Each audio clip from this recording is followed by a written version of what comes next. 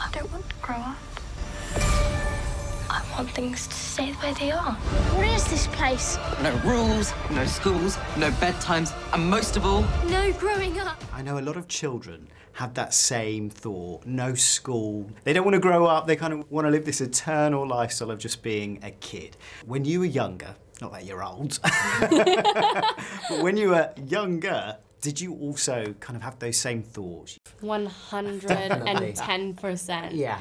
I have to say, being able to eat off the kids' menu and not have it be a thing was pretty awesome. Yeah. A little bug did it. I don't think that's a bug. she is a fairy. Are you? Peter Pan? Were you expecting someone else? Alexander, what about you? This is your first big, big role. I Yes. mean, what a role to have. Yes, Playing Peter Pan. Miss me? Just like old times. All your times are old, Captain. So I think it started actually with my younger brother, who started off sort of doing commercials and that sort of thing, and I'd be dragged along to set.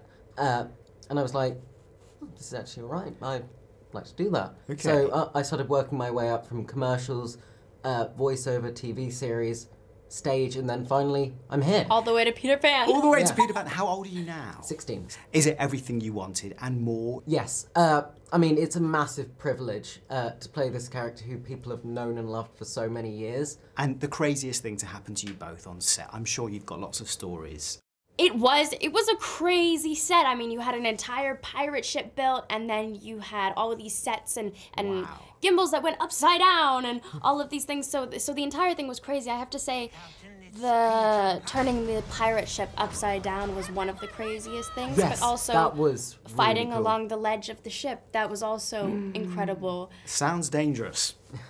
It was all properly all- it was all yeah, risk yeah. assessed. Very safe. To grow up might just